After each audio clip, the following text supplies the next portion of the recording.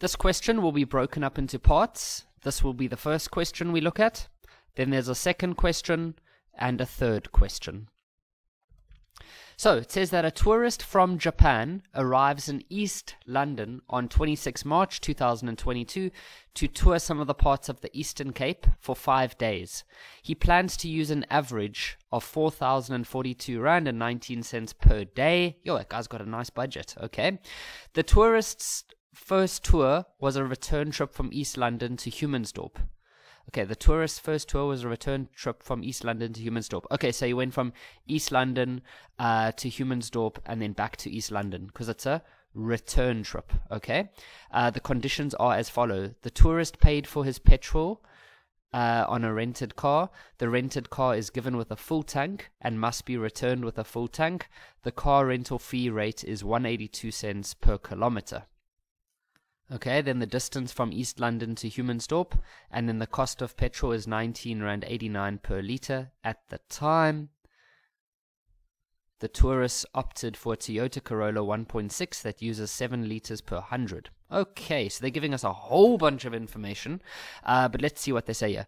Calculate the total Japanese yen he exchanged for the five day use if the exchange rate between RSA and Japanese yen is given in the table below.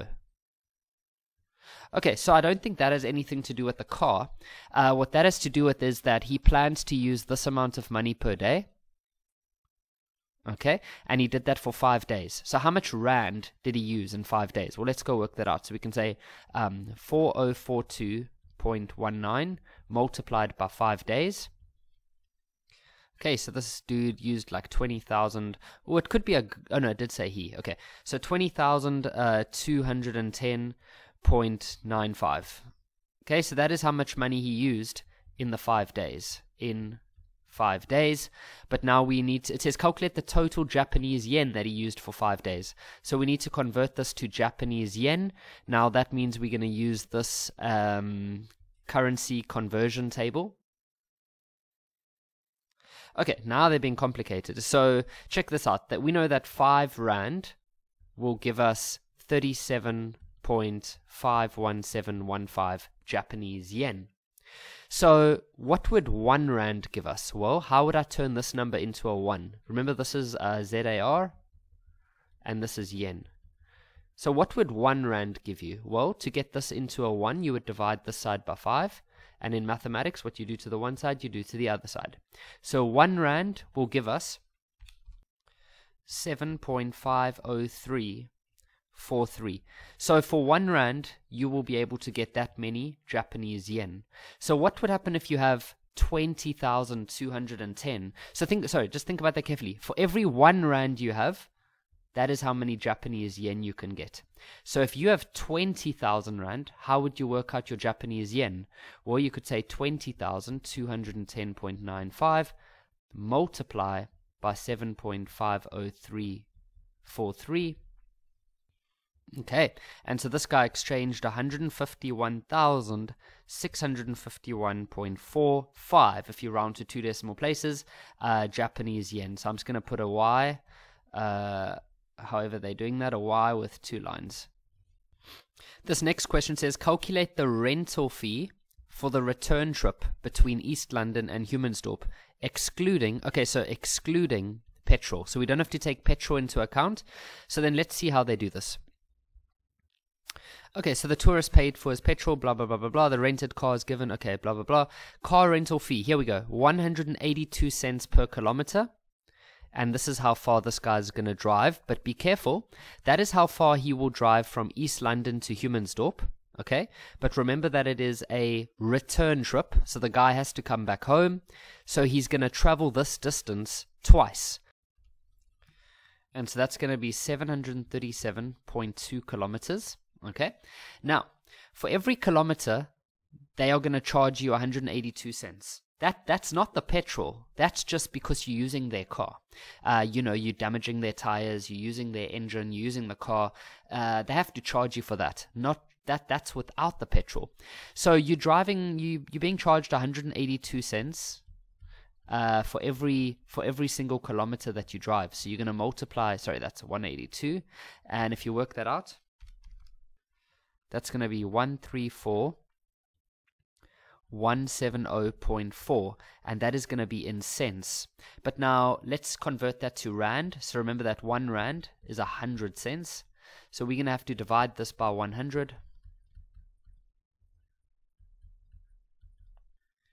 and so that's going to be 1341 rand and 70 cents.